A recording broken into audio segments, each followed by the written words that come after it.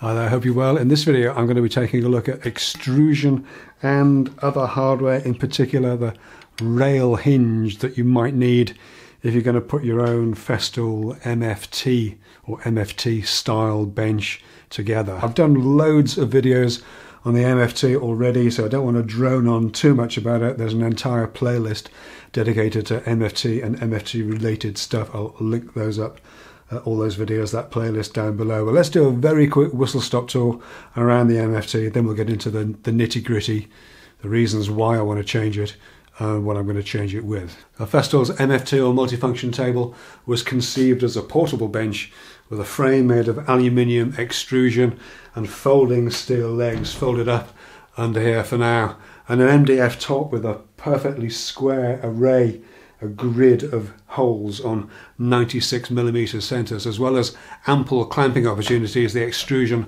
allows for a rail hinge and front support assembly to be easily added and removed, and the fence and flag stops make repeat accurate cuts really easy. The full Festool MFT is not a cheap option, but overall, I've no regrets about buying one of these. And back when I was doing the fitted furniture work, it was the thing that enabled me to compete with other makers, other companies with much bigger workshops and much bigger budgets for much more expensive gear. So if it's that great, why do I want to change it? Well, as I said earlier, it's a portable bench that's being used in a static situation.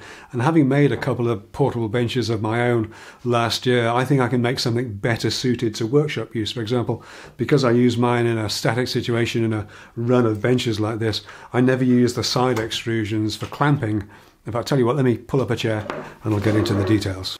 So when it comes to talking about extrusion and other hardware, the first thing you need to decide is whether or not you want a rail hinge. Uh, for me in the workshop, that's pretty much an essential because I do a lot of chopping and changing when you're on the bench.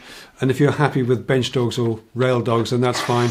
That makes your decision much, much easier. For the rail hinge, you can buy the Festool OEM version as a spare part, and this is the least costly option. Not often you get to say that at around £60 or so. The hinge and front support set come in at around £110, and they fit into the standard MFT extrusion and can be easily removed as required. Now I say standard MFT extrusion, both the older MFT 1080 like this one and the newer MFT3 use a proprietary extrusion, a proprietary profile, and the T-bar on the back of the uh, Festool parts seem to be specifically designed to only be able to use them with their own profile. Shocker. So if you're going for the Festool hinge set and want to use clamps as well as the hinge, then you'll need to brace yourself for spending around £150 for a pair of MFT3 extrusions as a spare part, or around £200 if you prefer the MFT 1080 profile like this one,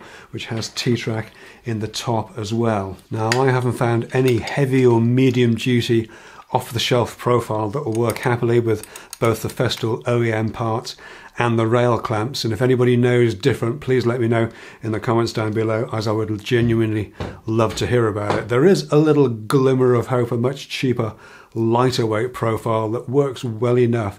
We'll come back to that later on. So your alternative rail hinge, and there do only seem to be two options, is the set from Dashboard PWS, the portable workstation from Rob Schumacher in the US. I've been chatting with Rob off and on for a while, and I bought the full set from him recently. Now this set is absolutely fantastic quality and can be ordered with either fittings for the Festool extrusion or for standard T-track. Now what does standard T-track mean? Well I sent Rob drawings of what I had in mind and I'm happy to say that the standard T-track fittings with 8mm T-bolts that you get from Dashboard works perfectly with the Rutland's uh, T-track that I bought from a while ago. This is externally 19 millimeters or three quarters of an inch wide, 12 mil or half inch high, and the internals measuring a half inch wide by a quarter inch high. Weirdly, the slot in the top is 8 millimeters, which is perfect for both rail clamps and the T-bolt supply. Now, while the dashboard set is well designed and superbly made, it is not a cheap set, especially for us folks in the UK. I paid the equivalent of £235 for this set, including shipping, and then I was also hit for £51 import duties and handling fees, so more than twice the price of the Festool OEM set. I'd kind of go out on a limb here and say that the machined aluminium set from Dashboard is actually getting on for 10 times the quality of the pressed steel OEM set.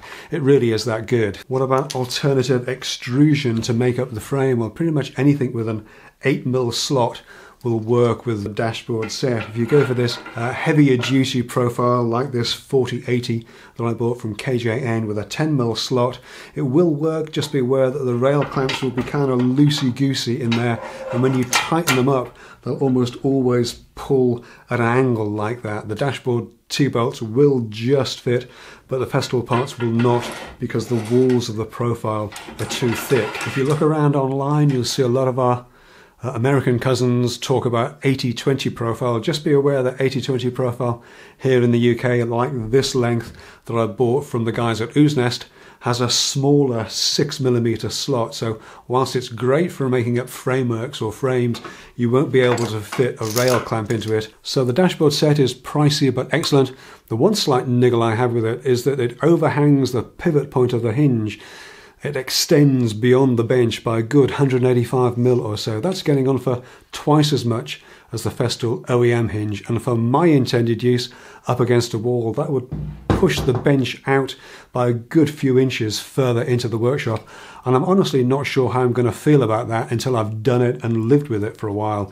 This does mean, though, that I'd quite like to have the option of fitting the original Festool OEM hinge, which means that we're back to looking for an alternative profile to the £100 a metre or so Festool extrusion. And fortunately, there is a slight glimmer of hope from an unlikely source. This is IKEA's Vidga curtain track. No, seriously. Um, IKEA make a curtain track called Vidga, and it has a very familiar looking profile at the end there. I need to go quick shout out to I think it was Rob Mack at the UK Workshop Forum who flagged this up. This was actually on sale last year at just a pound a length. Comes in a 1.4 meter long length and just a pound a length. That's an absolute bargain, even if you just use it as a straight edge.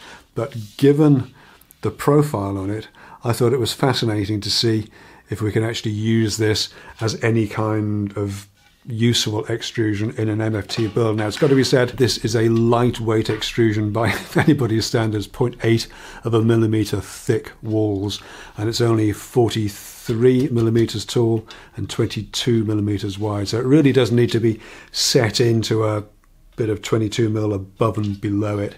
But it does have a T-slot on the back, so you can have a T-bolt to secure it through a, a, backing board.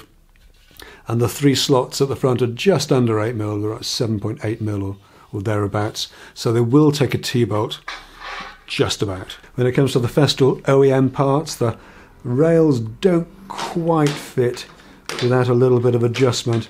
I spent uh, a little bit of time with a sander just thinning this down a little bit and that actually fits in there just fine.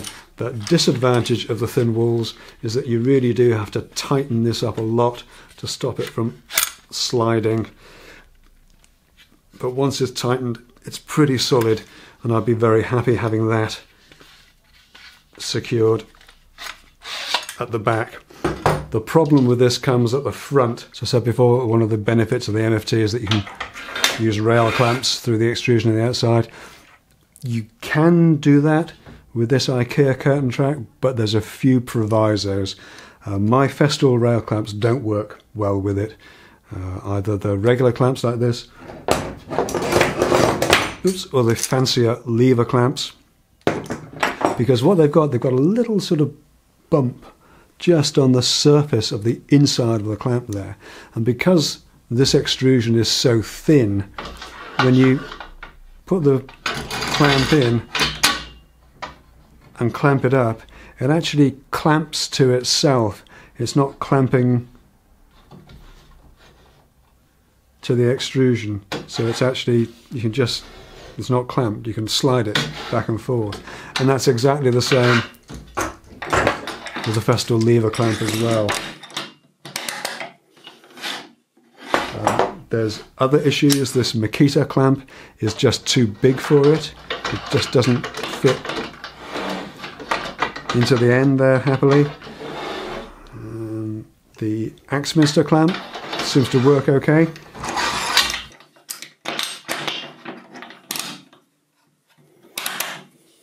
That's alright. And the oops cheap little Banggood Drillpro clamps. They work fine as well. So depending on what type of clamp you've got and what type of type of clamps you're expecting to use, it's debatable whether this is going to work for you as a front rail. Um, I'm not going to use it. I'm just going to use regular T-track. In fact, I'll use two two pieces of T-track.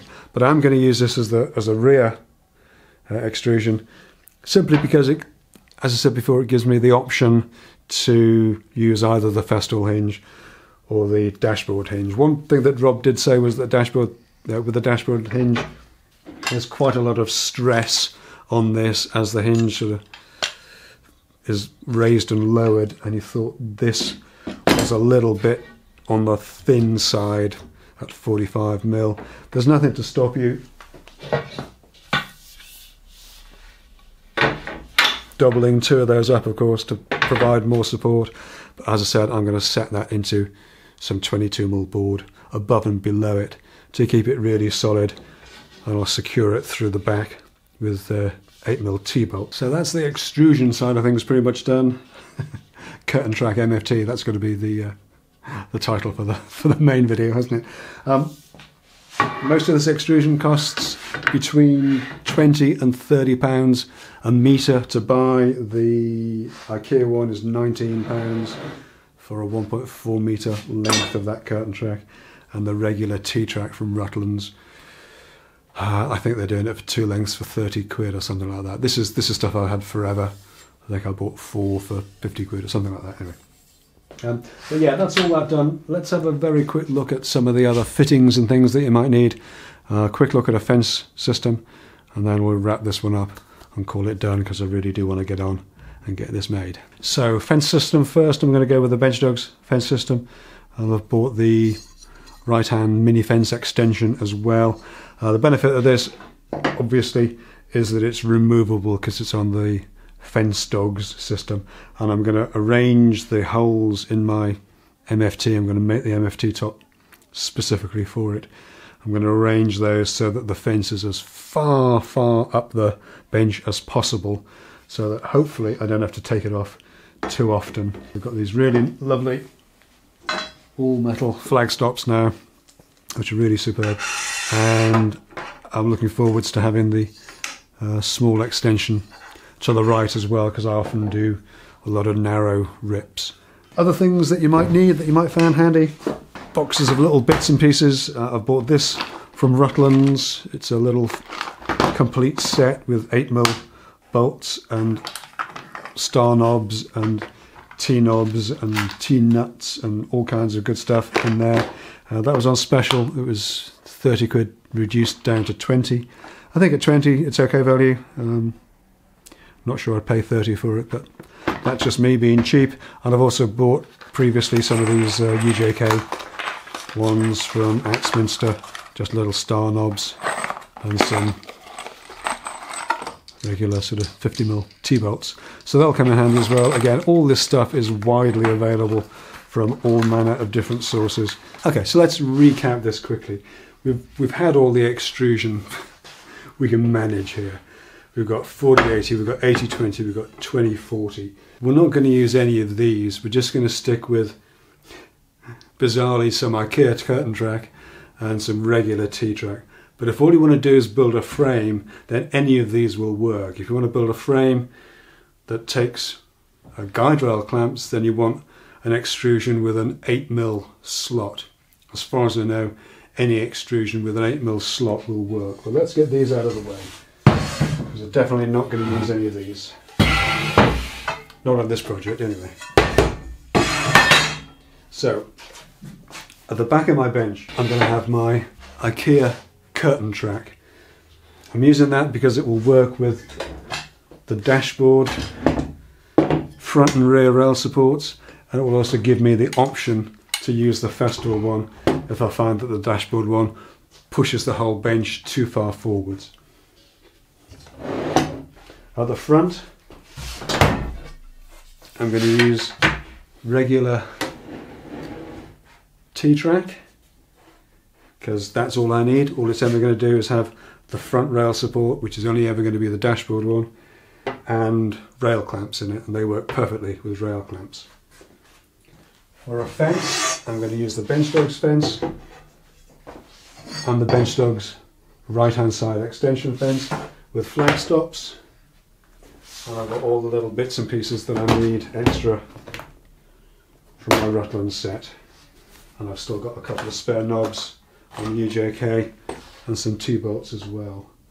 That's that's kind of where we are. That's that's kind of what we need for now. Um, obviously, we've got to put this together into some kind of order, some kind of sense, and I've got to get the top made and figure out the measurements and the dimensions of all this stuff. But I think I'm going to call this one done because I'm really keen to get on and get that MFT made because I've still got to figure out how to support it side to side. I've still got to figure out exactly how big I want it to be. Uh, and I want to get on with that. So I'm going to say thank you very much for watching. Thank you, as always, to my amazing Patreon supporters and YouTube members whose continued support and endless patience been living with me through this for a, a fair few months. Uh, it really helps me to keep the lights on here and really gives me fantastic feedback on the kind of things that I need to do for the public facing videos on the channel. Um, but that's it for this one. Thanks ever so much for taking a look, and I'll see you in the next video when I'll be putting this MFT together and get, actually getting it working. All right, take care.